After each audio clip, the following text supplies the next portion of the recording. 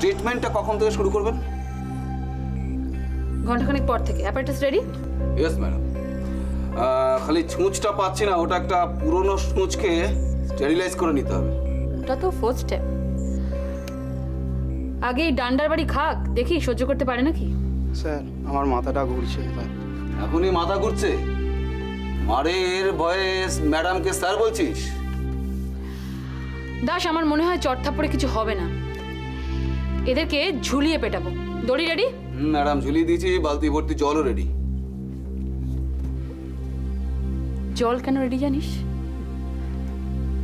এত মার খাবি অজ্ঞান হয়ে যাবি তো? তখন তো দরকার হবে। এখনও সময় আছে। ওই সময় তুই কোথায় ছিলি বল? বলেছি তো। সত্যিটা বল। নাহলে বাড়ি থেকে কিন্তু তোর বোনকে তুলে আনবে এবার।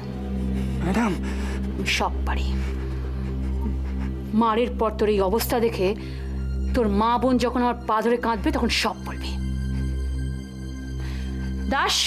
ইয়েস ম্যাম চারটাকে নিয়ে যাও। চল। এই চল। চল। চল। চল।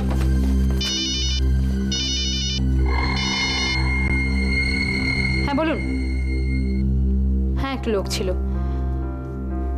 জুলি? আচ্ছা। ঠিক আছে। আর আমার ব্যাপারটা কোথায়? হুম, কখন? আচ্ছা আমি আগে থেকে ওয়েট করব। বাইকটা আসবে? আচ্ছা। না, আমার মনে হয় এসব জায়গায় উইটনেস রাখা ঠিক না। ওকে রাখছি। Thank you